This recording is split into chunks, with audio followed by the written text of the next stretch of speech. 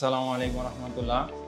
Honours করতেছি honours করার পাশাপাশি গ্রাফিক ডিজাইন শেখার জন্য বিভিন্ন প্রতিষ্ঠান খুঁজতেছি। তো হঠাৎ করে একদিন ফেসবুকে নোটিফিকেশনে ক্রিয়েটিভ আইটির গ্রাফিক ডিজাইনের হেড স্যারের একটা ওয়ার্কশপ ছিল। তো সেই ওয়ার্কশপে জয়েন হই। জয়েন হওয়ার পরে স্যারের ওয়ার্কশপের যে ক্লাস যে এরকম সিস্টেমটা ছিল, ওটা দেখে এই প্রতিষ্ঠানে আমার আশা এরপরে এই, এখানে অ্যাডমিশন নেই, ভর্তি হই ক্লাস করি। ক্লাস করার পাশাপাশি আমাদের ম্যাম একদিন একটা ক্লাস নিয়েছিল যে নেটওয়ার্কিং কীভাবে ডিজাইনের নেটওয়ার্কিংটা বাড়ানো যায়। তো সেই নেটওয়ার্কিং ক্লাস থেকে আমি বিভিন্ন ডিজাইন এজেন্সির সিওদের ফ্রেন্ড রিকোয়েস্ট পাঠাই। ফ্রেন্ড রিকোয়েস্ট পাঠানোর পরে ওনারা বিভিন্ন চাকরির অ্যাপ্লাই দেয়। তো সেইখানে কি করি, ওনাদের ডিজাইন যেইগুলো সার্ভিসগুলো দেয়, সেই সার্ভিসগুলো নিয়ে একটা ওনাদের ডিজাইন এজেন্সির ইয়া, আপনার একটা সোশ্যাল মিডিয়ার ডিজাইনটা করি।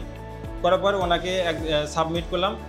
সাবমিট করার পর আমাকে অ্যাকসেপ্ট করল। করার পর সেখানে জয়েন করলাম। পাশাপাশি আরেকটা এই এসকে প্রিন্টিং হাউসেও এটা অনলাইন বেসিক দেশের ক্লায়েন্ট ওনার কাজ করা হয়।